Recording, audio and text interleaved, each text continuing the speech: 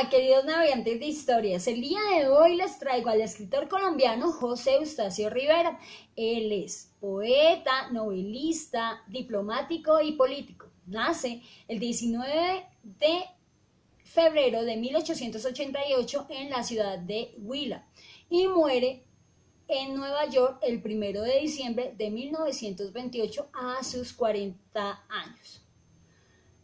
Dicen que por estar en la selva de Orinoquía y de la Amazonía eh, adquirió una malaria. Entonces, por eso muere. Dicen que muere de una malaria cerebral a sus 40 años. Entonces, sus restos reposan en el cementerio central de Bogotá. Nace en una familia modesta con 10 hermanos a su alrededor. Estudia en Huila en los, en los colegios de San Luis Gonzaga y Elías. Años después se gana una beca en donde se traslada a Bogotá y estudia en la normal. En 1909 vive en la ciudad de Ibagué, pero pues cuando se gana la beca mm, él en Bogotá sigue sus estudios en la Universidad Nacional, allí recibe el título de doctor en Derecho y Ciencias Políticas. Trabaja como empleado en el Ministerio de Gobierno y en 1921 publica Tierra de Promisión, que son sonetos. Denuncia las injusticias y los crímenes cometidos a los colombianos porque él se tiene que trasladar por todo Colombia, entonces empieza a haber muchas injusticias en la frontera colombo-venezolana, tanto así que los indígenas que habitan allí eh, los compran, los venden, los maltratan, los trasladan también a Brasil, pero en unas condiciones precarias. Mm, denuncia esto en la prensa nacional, pero estas nunca las tienen en cuenta. En el mandato del presidente Pedro Nelo Espino. En fin, eh, tenía mm, mm, su obra, hay una obra que se llama eh, La Mancha Negra, que cuando él está en Nueva York, esa obra se pierde, no se sabe nada de sus de sus o sea, de sus escritos. Esta se pierde, pero se sabe que se llamaba La Mancha Negra. Uno de los, de los escritos más importantes que sabemos se llama La Vorágine, que ya ahorita les voy a contar en breve la historia de lo que pasa en esta novela. Entonces, eh, Sabemos que en esta época el romanticismo está a flor de piel y lo mismo el costumbrismo, pero esta novela llega y ataca contra el romanticismo y el costumbrismo, entonces se vuelve como algo ya de José Eustacio que quiere darlo a conocer a las personas. Entonces es muy bonito porque ahí en esta novela también se refleja lo lo, metafísico, lo psicológico y la espiritualidad que nos trae la naturaleza, pero pues es mucho más que trae la novela porque hay unas cosas que se ven muy fuertes y terribles que pasan a los colombianos. El reconocimiento de su obra viene después de que ha fallecido, pues porque definitivamente no, no lo tuvieron en cuenta, como muchas escritoras también del siglo XVIII y del siglo XIX no tuvieron en cuenta pero José Eustacio Rivera por sus lindos escritos que amaba, entonces dio a conocer a través de ellos todo lo que tiene que ver con la flora y la fauna en Colombia. Entonces a continuación les voy a relatar un poquito sobre la vorágine de José Eustacio Rivera. Pues se trata sobre un señor llamado Arturo que es mujeriego y llega a la casa de Alicia y Alicia es una muchacha que es de muy buena familia.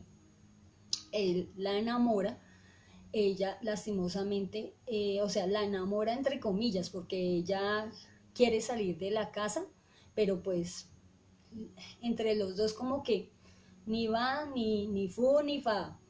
Como que me gusta, pero que como que no me gusta, entonces tienen ahí su, su amorío. Alicia queda embarazada, eh, sale corriendo de su casa.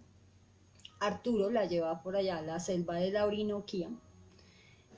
Eh, también eh, allí reflejan de que de cómo de Orinoquía, mejor dicho, ya les empiezo a relatar bien porque es de Orinoquía y Amazonía. Entonces allí conocen a un señor que se llama Franco y Griselda. Eh, Franco se vuelve muy amigo porque Franco también los lleva a vivir a la casa de él y con su esposa, pero entonces lastimosamente un señor que se llama Clemente, eh, es malo y empieza, secuestra a Alicia y a Griselda. Entonces empieza ahí como la búsqueda de Arturo y Franco de las esposas para ver qué, qué pasaba con este hombre. Y resulta que este hombre es traficante, le gusta escoger a los indígenas de 8 a 14 años para prostituirlos. Y estamos hablando de que también es de que de la naturaleza sacan el, árbol del caucho. Entonces es como las empresas estadounidenses llegan acá y se apoderan y empiezan a maltratar a todo el mundo. Esto lo, yo, yo siempre digo que los escritores van a, van a recrear sus textos con lo que ellos han vivido. Entonces José Eustacio Rivera, como recorrió tanto la selva de la Orinoquía y la Amazonía, entonces él, por supuesto que en la vorágine iba a dar a conocer todo lo que él pasó. Entonces, pues estamos hablando de Arturo y de, Franco, estos dos personajes de la historia, donde tienen que pasar por muchas cosas que por ser serpientes venenosas, que los escarabajos los pican, que los zancudos también, hay cosas de la naturaleza que los atraen, hay cosas de la naturaleza que, que le temen a la, a la naturaleza. Entonces es bonito cuando empiezan a recrear todo eso y a pasar por toda esa linda selva, pero que es muy bonita, pero también tiene mucho peligro. Y pues detrás de, esa naturaleza de, la flora y la fauna también viene el hombre, de cómo el, maltrato hacia la, naturaleza y, el maltrato hacia la gente colombiana. Entonces les estaba hablando que este Clemente eh, cogió a las dos mujeres, se las llevó para prostituirlas. Y él las vendía, las vendía al que le diera mayor, mayor dinero. Entonces, pues ellos iban detrás de sus esposos a ver qué era, qué pasaba. en el camino se encontraron con un viejito que les hablaba sobre la muerte del hijo, que le pesaba mucho, que porque el hijo se había enamorado de una y él se había suicidado por amor. Entonces, pues ellos tuvieron que, que hablar con él para que no estuviera tan triste, siguieron su camino, encontraron a este tal Clemente, después el tipo resultó asesinado, no por ellos, pero lo asesinaron. Eh, encontraron a sus esposas, Franco se fue con su esposa para la casa y pues Arturo y Alicia, eh, eh, al ver morir a este Clemente, Alicia tiene el bebé tiene el bebé de siete meses, entonces ahí Arturo se da cuenta que él está enamorado de Alicia y Alicia también siente eh, cosas hacia él. Entonces forman una familia y ahí es cuando ya se acaba la novela, pero es impresionante cómo él atrae a través de su texto eh, todas las cosas de una manera metafórica.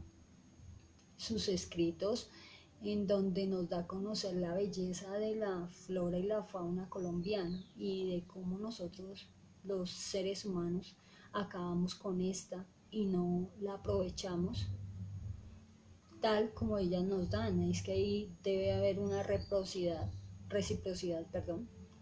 Debe haber una reciprocidad en las cosas. Cuando yo doy, ella me da. Entonces no podemos acabar con toda la naturaleza porque nos quedamos sin ella y cómo después hacemos para subsistir. Entonces José Eustacio Rivera nos da a conocer en su obra que la naturaleza en Colombia es diversa y que debemos aprovecharla y no debemos es malgastar los recursos naturales. Eso es, entonces los invito a escribir en el canal sus comentarios. También los invito a que lean a José Eustacio Rivera. De paso, eh, les doy mis agradecimientos y mis saludos a mis ex estudiantes que ahorita se encuentran en la universidad, como había dicho la vez pasada, y que es lindo que me vuelvan a escribir y que, es muy, muy gratificante que eh, saber de ellos y de lo que están haciendo. También a mi familia les doy muchos saludos, a mi tío Rodrigo y a Mimi que han estado ahí muy pendientes del canal.